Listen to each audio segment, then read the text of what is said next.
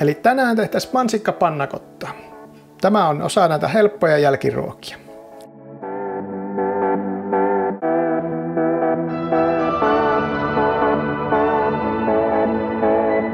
Mansikkapannakotan tekeminen aloitetaan sillä, että laitetaan kattilaan 2 desiä kermaa. Tämä on ihan kuohukermaa mulla tuossa. Ja tuota, siihen tulee puoli desiä sokeria ja puoli desiä tuota mansikkamehua.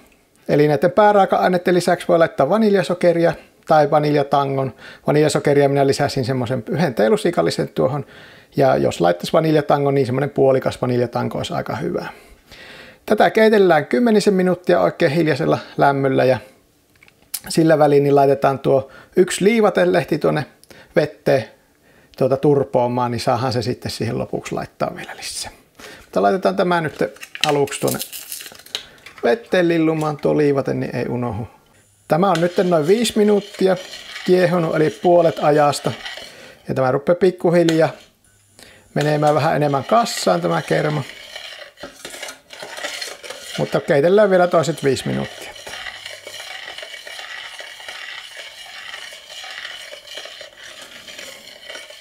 Ja tätä jälkiruokaa on helppo varioida vaihtamalla vaan tuota mehua.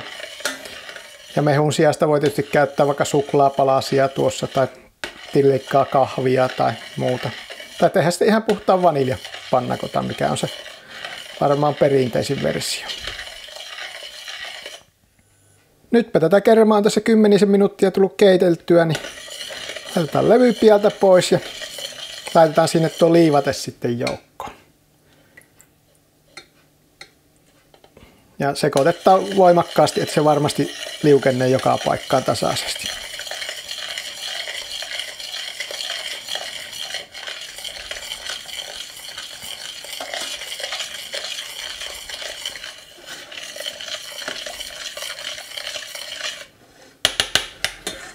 Eli nyt olisi tämä seuraava vaihe, eli kaavetaan tuo massa tuonne kippoihin ja laitetaan ne sitten jääkaappiin tuota viilenemään pariksi tunniksi ne silloin ne hyytyy sitten paremmin tuolla.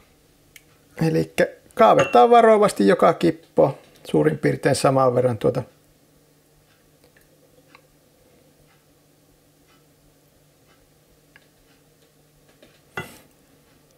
laitetaan jääkaappiin tosiaankin niin tuota pari tuntia, kun ne on siellä jääkaapissa, niin pitäisi olla valmista syötäväksi.